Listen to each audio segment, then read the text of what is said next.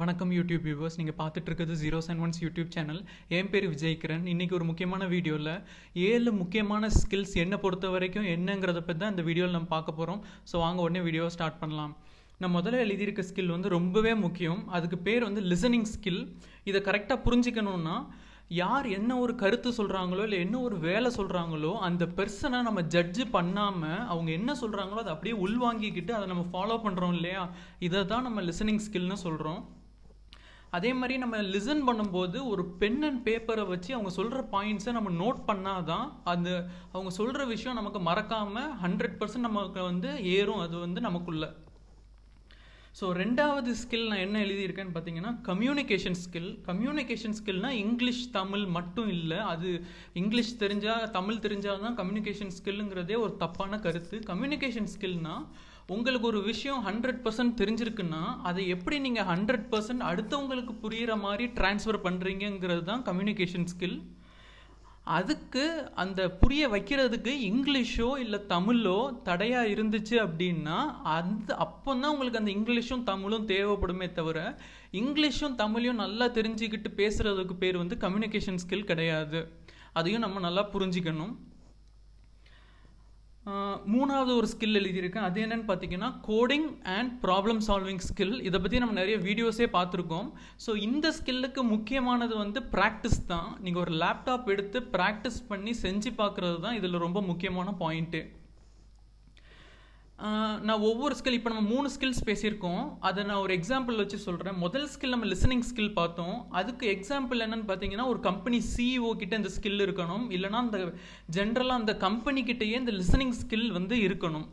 ரெண்டாவது நான் சொன்னது கம்யூனிகேஷன் ஸ்கில் இந்த ஸ்கில் யார்கிட்ட இருக்குன்னு பார்த்தீங்கன்னா ஒரு எக்ஸாம்பிள் வச்சு பார்க்கணும்னா ஜென்ரலாக டீச்சர்ஸ் கிட்ட இந்த கம்யூனிகேஷன் ஸ்கில் வந்து நல்லா இருக்கும். மூணாவது நம்ம சொன்னது வந்து coding and problem solving skill இது யார்கிட்ட இருக்கும்னு பார்த்தீங்கன்னா ஒரு டெவலப்பர் ஆகட்டும் இல்லை ஒரு கிரியேட்டர் ஆகட்டும் இவங்கக்கிட்ட இந்த ஸ்கில்ஸ் வந்து இருக்கும்.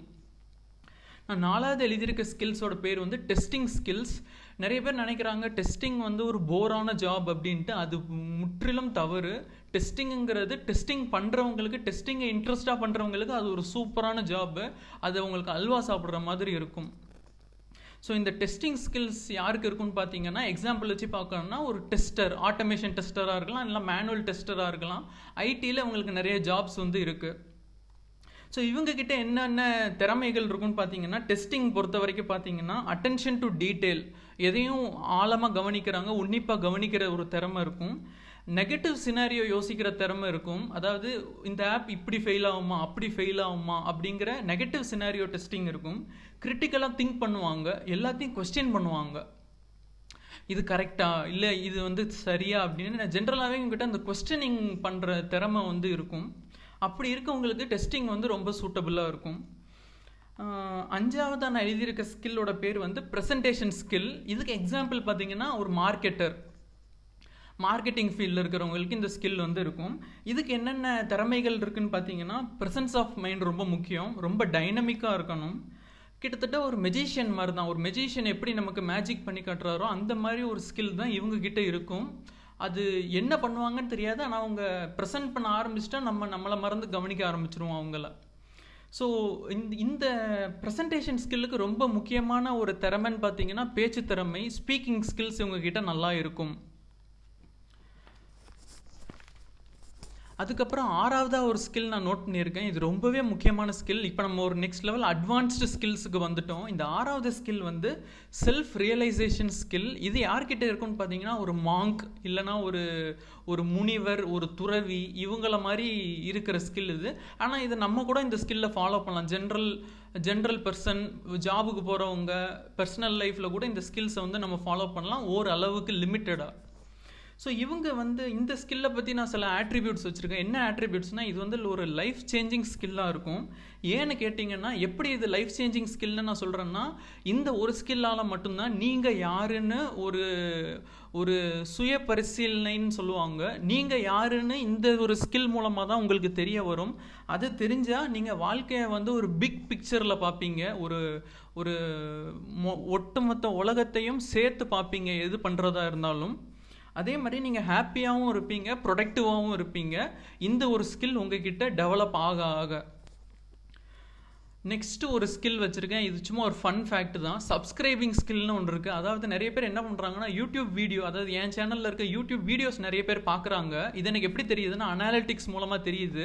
வீடியோ பார்க்குறாங்களே தவிர அந்த கீழே இருக்கிற சப்ஸ்கிரைப் பட்டனை வந்து ப்ரெஸ் பண்ண மாட்டேங்கிறாங்க கீழே ரெட் கலரில் இருக்கு அதை ப்ரெஸ் பண்ண மாட்டேங்கிறாங்க ஸோ இவங்களுக்கு தேவையான ஸ்கில் வந்து சப்ஸ்கிரைபிங் ஸ்கில் அதை நம்ம வளர்க்கணுங்கிறதுக்காக இந்த வீடியோ பார்த்துட்டு இருந்தீங்கன்னா மறக்காமல் இப்போவே உடனே சப்ஸ்கிரைப் பண்ணிவிட்டு அந்த ரெட் பட்டனை கிளிக் பண்ணிவிட்டு பக்கத்துலேயே பெல் ஐக்கானையும் ப்ரெஸ் பண்ணிக்கோங்க. பெல் ஐக்கான் ப்ரெஸ் பண்ணுறதுனால என்னோட அடுத்தடுத்த வீடியோஸ் முதல்ல உங்களுக்கு தான் தெரிய வரும்.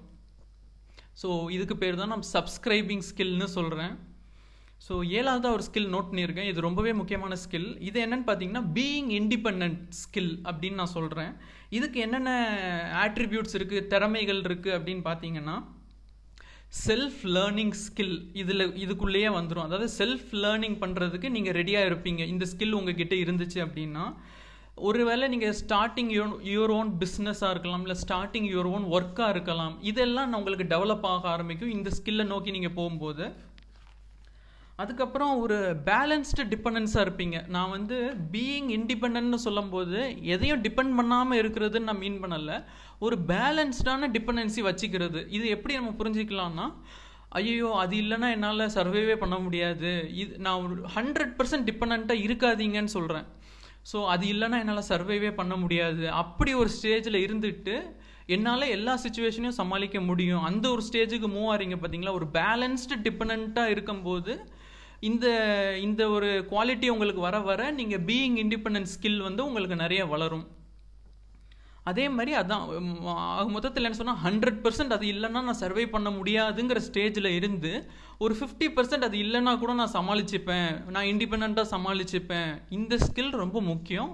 உங்கள் ஜாப்லேயும் சரி பர்சனல் லைஃப்லேயும் சரி அதுக்கேற்ற மாதிரி நம்ம ட்ரெயின் ஆகிக்கிறது தான் நம்ம பீயிங் இண்டிபெண்ட்டாக இருக்கிற ஸ்கில் அப்படின்னு நான் சொல்கிறேன் ஸோ எல்லா ஸ்கில்ஸையும் இதில் கவர் பண்ணியிருக்கேன். இந்த ஏழு ஸ்கில்ஸும் எனக்கு ரொம்ப முக்கியமாக பட்டுச்சு. அதனால தான் நான் உங்களுக்கு ஷேர் பண்ணிக்கிட்டு இருக்கேன். ரொம்ப யூஸ்ஃபுல்லாக இருக்கும் நம்புகிறேன் இந்த வீடியோ இந்த வீடியோ எப்படி இருந்துச்சு? இது யூஸ்ஃபுல்லாக இருக்கா? உங்களுக்கு அப்படின்னு மறக்காமல் ஒவ்வொருத்தரும் இந்த வீடியோ பார்க்குற ஒவ்வொருத்தரும் ஒரு கமெண்ட் மூலமாக எனக்கு தெரியப்படுத்துங்க.